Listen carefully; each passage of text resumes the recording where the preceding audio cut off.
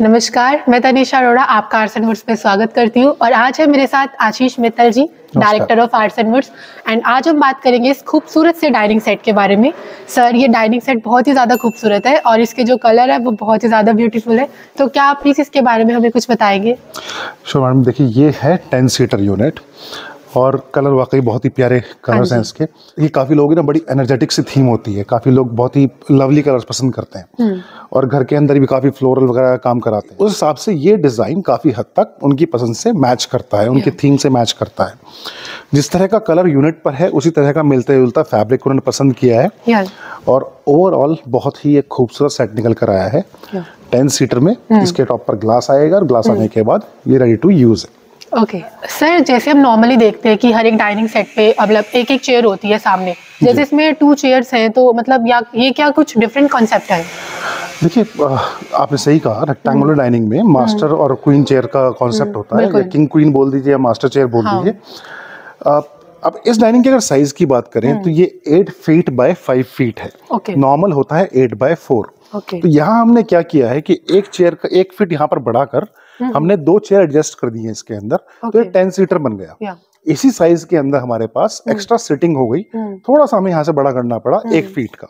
Normally ten seater dining और ten by four बनता है तो वो दो फीट उस साइड बाहर निकल जाता है। काफ़ी लंबा भी लगता है। इसके अंदर डिज़ाइन भी कॉम्पैक्ट हो गया। इसका ब्यूटी भी रिटेन करी गई है और साथ में टेन चेयर का बहुत खूबसूरत कॉन्सेप्ट बन गया। अगर मास्टर चेयर की ऐसी रिक्वायरमेंट नहीं है कि आप चाहते ही हैं कि बिल्कुल सिंगल सिंगल चेयर्स हों हम्म, हम्म। ये कॉन्सेप्ट भी बहुत अच्छा है ओके okay. अच्छा सर जैसे अगर हम इसके टॉप पे मार्बल का या फिर ऑनेक्स यूज़ करना चाहें तो फिर इसमें मतलब क्या चेंजेस आएँगे देखिए मार्बल या ऑनिक्स अगर आप इस पे हम्म। लगाएँगे तो ऑब्वियसली हम्म। ये ऊपर का डिज़ाइन नहीं हम्म। दिखेगा विजिबल नहीं होगा।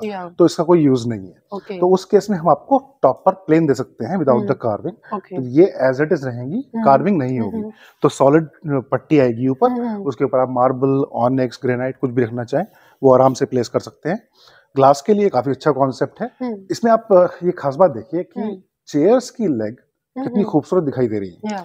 जब आप इसे ऊपर से कवर कर देंगे हम्म। तो जो नीचे की इतनी ब्यूटी है इसकी हम्म, वो सारी कवर हो अच्छा, जाती है। हाँ तो ग्लास लगने के बाद ओवरऑल लेफ़्ट से राइट से हर साइड से बहुत अच्छा लुक आएगा। हम्म। साथ ही साथ डबल कार्विंग की चेयर जैसा कि कार्विंग इसमें फ्रंट पे है वैसे ही कार्विंग इसके बैक पे है। तो डबल कार्विंग का कॉन्सेप्ट तो है ही। तो ओवरऑल सेट बहुत ही खूबसूरत लगेगा।